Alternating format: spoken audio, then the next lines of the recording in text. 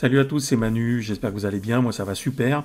Ravi de vous retrouver dans cette vidéo pour vous parler de FaceMaker. Cette fois-ci, la version du 30 décembre 2021. Et on va parler euh, de Amazfit GTS pour la création d'une watch face. Alors à chaque fois que j'ai un nouveau modèle, eh bien je fais un petit tuto pour apprendre à créer des watch face. En attendant, n'hésitez pas à vous abonner et à lâcher un pouce pour aider la chaîne. Et nous, on se retrouve tout de suite après ça. Alors, à savoir en premier lieu euh, sur ce modèle en particulier, c'est qu'on a assez peu de mémoire à l'intérieur pour pouvoir stocker euh, des watch face. Donc faites des fichiers relativement légers, euh, sinon la montre risque de se bloquer. Alors si la montre se bloque, pas d'inquiétude, ne la rapportez pas là où vous l'avez acheté. Il y a une solution, elle est toute simple, il vous suffira simplement de brancher à nouveau votre chargeur et de la mettre dessus, même si elle est chargée. Ça sera le seul moyen que votre smartphone se reconnecte de nouveau en Bluetooth et reconnaissent à nouveau votre montre. À partir de là, il vous suffira simplement de retransférer un fichier d'origine que vous avez sur l'application ZEP et tout rentrera dans la normale. Donc, il ne faut pas excéder, euh, bien sûr, euh, les 3 ou 400 kilooctets. Le fichier là que j'ai créé, enfin qu'on va créer ensemble, euh, est déjà limite au niveau du poids et j'ai obligé de faire une petite manipulation sous Photoshop pour fusionner deux images de manière à avoir un PNG beaucoup plus léger je vous laisserai vous choisir le fond que vous voulez choisir. En tout cas, pour le modèle que je vais vous présenter, j'ai fait cette manip là. Donc face info, ici, dans l'application, et je vais choisir la GTS qui est là, soumettre. Donc, première chose à faire, on va créer un fond, arrière-plan. Donc ici, normalement, dans Images, et eh bien, dans la bibliothèque, j'ai choisi les deux éléments qu'on va retrouver ici. J'ai un fond qui est celui qui indique les heures. Voilà, celui-ci. Et j'avais pris un fond style papier froissé, qui est celui-là, et je les ai fusionnés pour obtenir une image directement au bon format, c'est-à-dire ici, 348 euh, par 442. Donc du coup, je vais aller chercher directement mon fichier, qui est celui-là. Voilà. Première chose, elle est faite. Deuxième chose, donc on va installer ici la fréquence cardiaque avec un cercle. Je le passe en rouge. Je viens placer là au milieu. Un petit aperçu.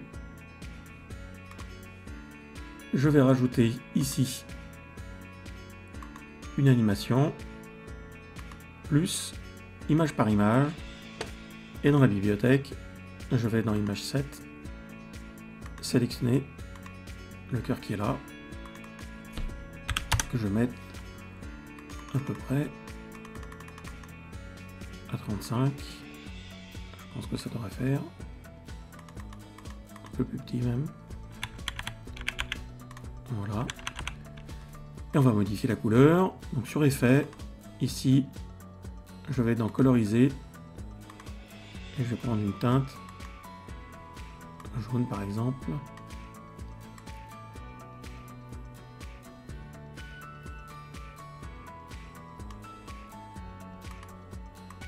et je déplace le curseur. Aperçu, donc on a bien un petit mouvement ici. Euh, dans fréquence cardiaque, toujours. Alors ici, je vais cliquer de nouveau sur plus.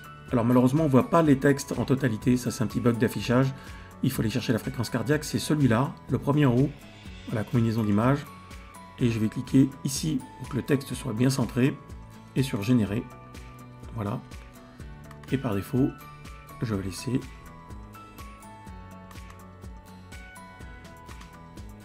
la police par défaut. Alors, c'est pas celle-ci. Euh, je pense que c'est peut-être celle-ci. Voilà. Et on va redescendre la taille. On va bien placer là. Un petit aperçu. On est un peu trop grand. Voilà.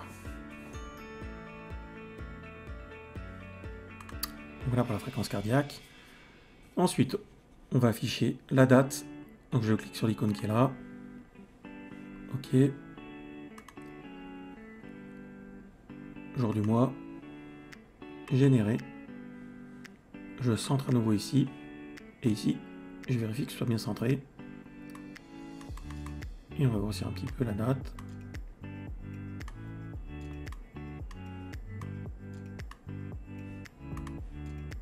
On est bon. Voilà. Et maintenant, je vais venir afficher l'heure. Alors ici, ça va être l'heure digitale. Et ici, ça va être l'heure analogique. L'heure digitale, je clique une fois, chiffre, générer. Je vais choisir ma police de caractère.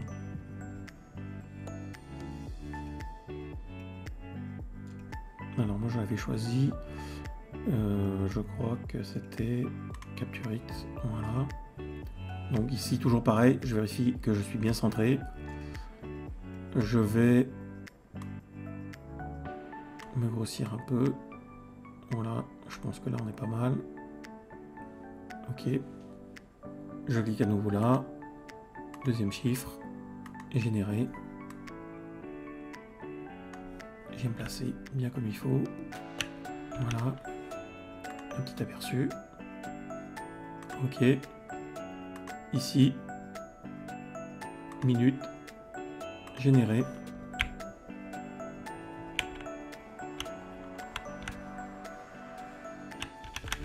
Voilà. Deuxième chiffre, générer.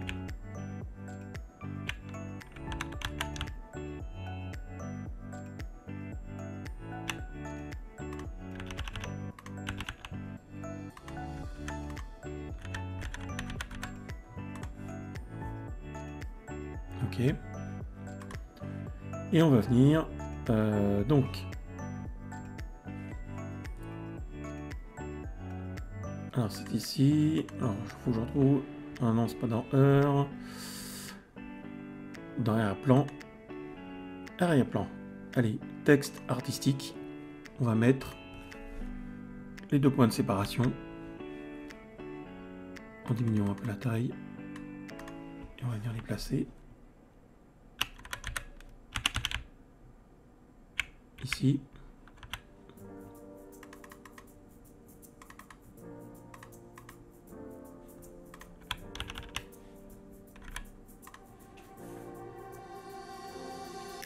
Ok, là on est pas mal.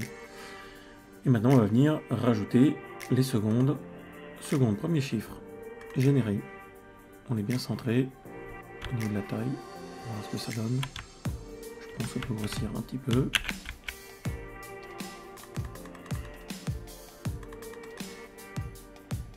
Voilà.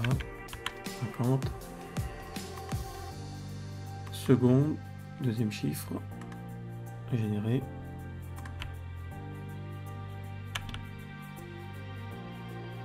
Et voilà.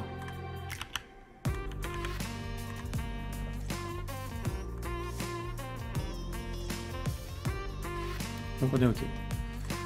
Alors ce qu'on va faire maintenant, on va donc rajouter euh, les aiguilles.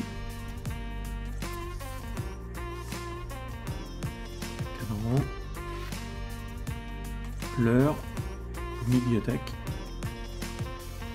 ends, et heures, soumettre. Premier aperçu, pas d'inquiétude, voyez, elle se cale. Ça c'est l'avantage par rapport aux anciennes versions, c'est qu'il n'y a pas besoin de rebouger l'axe. Ensuite, euh, donc,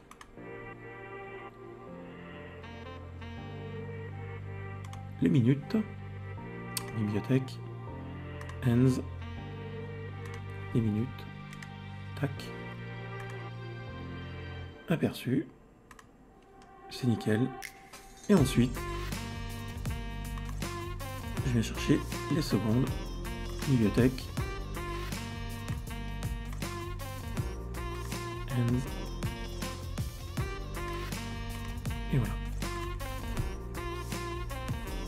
Voilà notre aperçu. Alors on n'a pas beaucoup euh, d'éléments d'indication, ça suffit largement pour faire un premier cadran en tout cas. Euh, donc ici, on va voir la fréquence cardiaque avec le petit cercle, euh, donc les battements de cœur. Et voilà. Donc il faut penser à créer maintenant pardon, la miniature qui va permettre de faire la sélection. Alors on retrouve, il faut que je retrouve exactement dans quel menu nous allons retrouver cet élément-là. Donc là, on a connecteur, c'est pas là. Ça n'est pas dans animation, arrière-plan. Voilà, arrière-plan, on a ici, vous voyez, c'était masqué tout en bas, aperçu. Et dans aperçu, je vais cliquer sur instantané. Et là, ce qu'on va voir apparaître, c'est ce qui va vous permettre de sélectionner votre, votre cadran pardon, sur votre montre.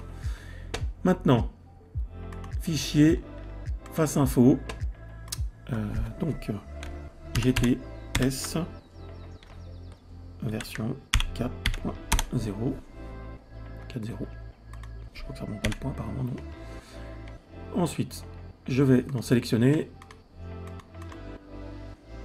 On va sélectionner cette partie qui est là. Le cadre déjà dossier déjà existant. Soumettre. Et je vais exporter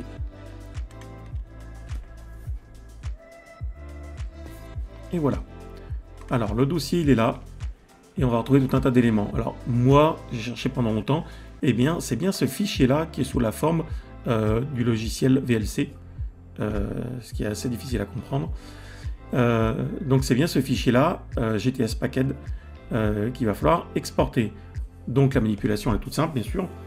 comme d'habitude, vous allez exporter ce fichier par mail que vous allez réceptionner sur votre smartphone. Et je vous retrouve maintenant directement sur le smartphone pour parler de comment installer euh, ce fichier sur votre montre. Alors pour la suite, euh, sur le smartphone, il vous faudra bien sûr deux applications. Il vous faudra celle d'origine, ZEP, qui est l'application qui pilote en général donc euh, les montres connectées à Masfit. Et il vous faudra aussi installer une autre application qui s'appelle GTS. Alors bien sûr, je vous mettrai dans le descriptif les liens. Euh, sachant que j'utilise GTS euh, comme deuxième application, il est tout à fait possible d'utiliser autre chose.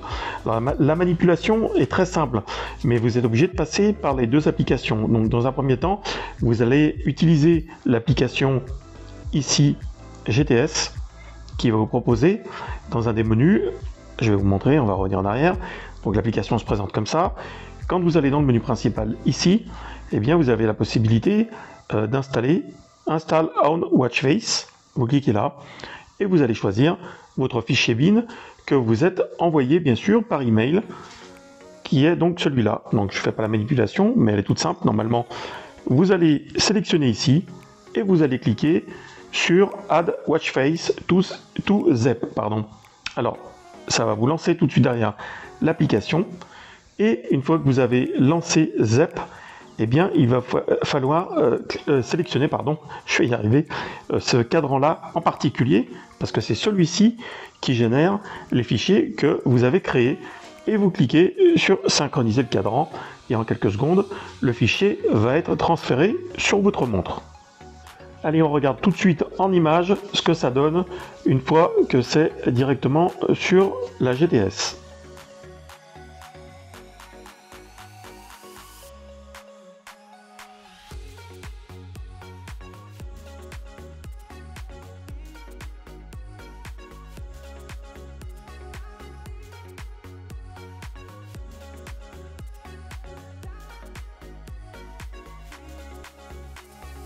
Voilà, c'est tout pour moi pour cette euh, watch face euh, faite avec FaceMaker pour l'Amazfit GTS.